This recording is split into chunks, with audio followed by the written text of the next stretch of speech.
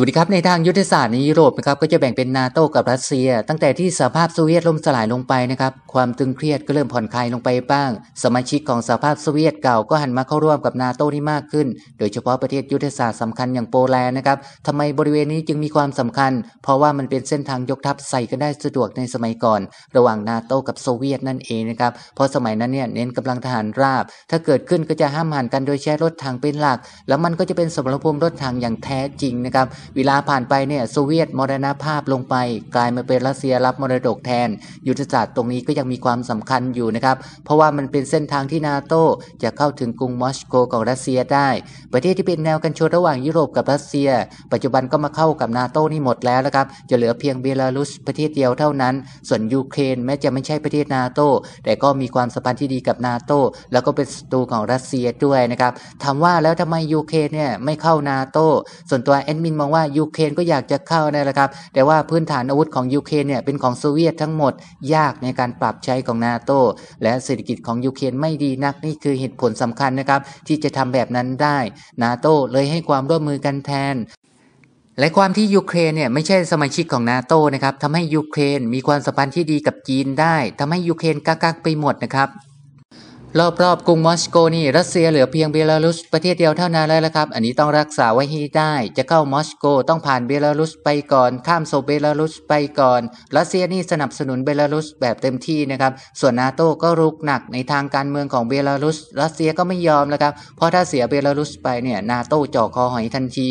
ล่าสุดนะครับเบลารุสจะซื้อระบบป้องกัน S400 เพิ่มจากรัสเซีย แน่นอนว่าปัจจุบันเนี่ยรถถังสำคัญน้อยลงไปนะครับกำลังทางอากาศนาโต้เพิ่มขึ้นโดยเฉพาะเครื่องบิน stealth อย่าง F35 เบลารุสจะเอา S400 มาทำงานร่วมกับ S300 ที่มีอยู่ก่อนหน้าแล้วนะครับ รวมกับซู30 HM ที่สั่งไปถึง 12 ลำ เพื่อให้พร้อมในการต้านกับนาโต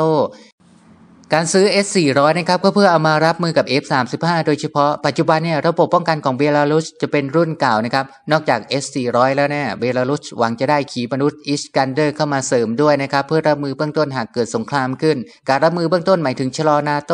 ในการเข้ากรุงมอสโกเท่านั้นนะครับ อันนี้เป็นไปตามทฤษฎี การเสริมอาวุธเข้าเบลารุสหวังจะให้นาโตเนี่ยผ่านได้ยากขึ้น ถึงแม้ว่าท้ายที่สุดแล้วนะครับเบลารุสจะเป็นได้แค่ทางผ่านก็ตาม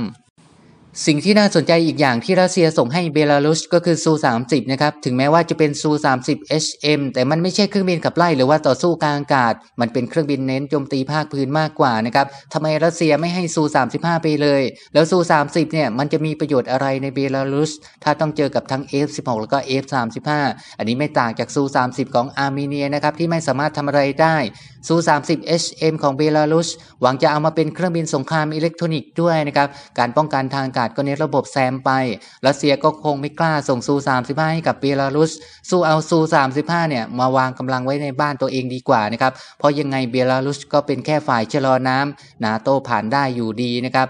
แต่ถึงอย่างไรนะครับการได้ S400 ของเบลารุสก็จะเพิ่มความสามารถในการป้องกันทางอากาศนี้เพิ่มขึ้น พร้อมประทะนาโตถ้าคิดจะเข้ามอสโก นั่นคือทฤษฎีนะครับ ส่วนในทางปฏิบัติระหว่างนาโตกับรัสเซีย ก็คงไม่ห้ามหันกันหรอกครับ ก็แค่วางแนวป้องกันต่อกัน เพื่อรักษายุทธศาสตร์เอาไว้ ซึ่งยุทธศาสตร์นี้เราก็ไม่รู้ว่ามันมีอยู่จริงไหมหรือมันจะเป็นแค่ผีที่ถูกปลุกขึ้นมาไว้หลอกหลอนชาวโลก การหากินกับผีนี่ผลประโยชน์มหาศาลนะครับก็คงไม่มีใครอยากให้ผีหมดไปจากโลก และผลประโยชนชน์จากสงครามก็มหาศาลเช่นกัน ก็คงต้องอยู่ด้วยกันไปอีกนานนะครับ ระหว่างผีกับสงคราม